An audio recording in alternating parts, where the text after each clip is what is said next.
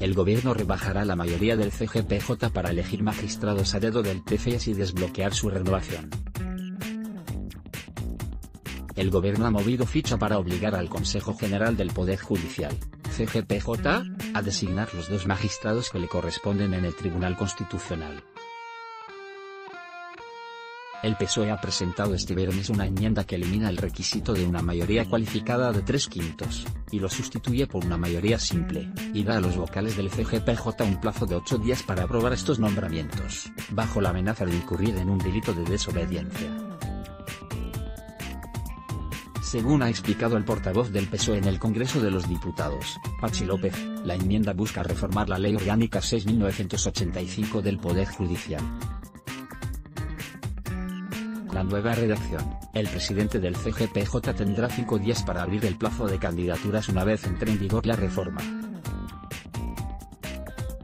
Con esta enmienda el gobierno asegura la entrada de los dos magistrados que había designado para el PC, la del exministro de Justicia Juan Carlos Campo, conocido por tramitar los indultos del procés, y la de Laura Díez, exdirectora general de Presidencia.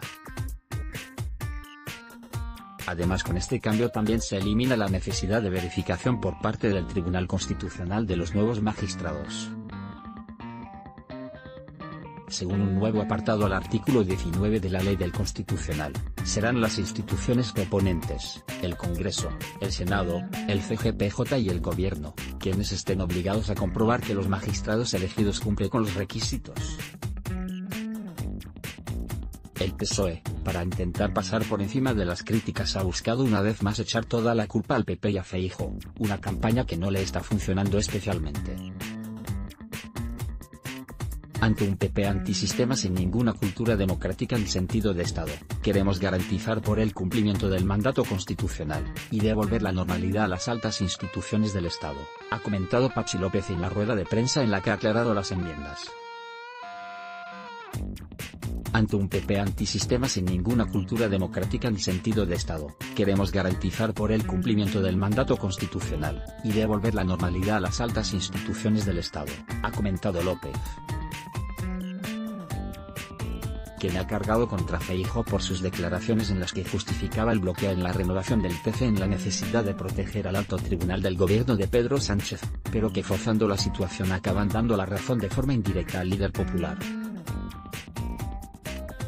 desde Galicia, donde tiene compromisos laborales esta tarde, Alberto Núñez Feijóo ha reaccionado a todos los cambios que el Ejecutivo pretende introducir en el Código Penal. El gobierno recrudece contra reloj sus ataques a las instituciones y a nuestro Estado de Derecho, ha denunciado. Además, el líder del PP reconoce que le asusta pensar hasta dónde puede llegar en un final de año en el que todo vale.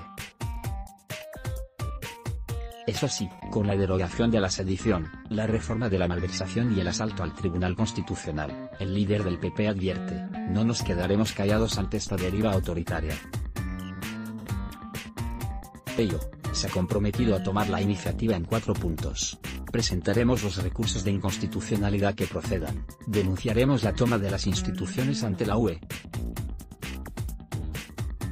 derogaremos todas aquellas medidas que desprotejan al Estado, y volveremos a tipificar como delito la sedición y cualquier forma de corrupción, ha detallado.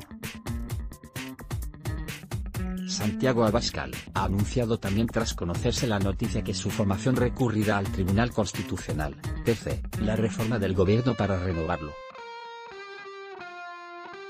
El asalto a las instituciones del autócrata Sánchez se acelera, con el apoyo de sus socios separatistas. Amnistía de golpistas y corruptos y golpe al artículo 159.3c para asaltar el TC con sus cómplices, ha escrito el líder de Vox en un mensaje publicado en la red social Twitter.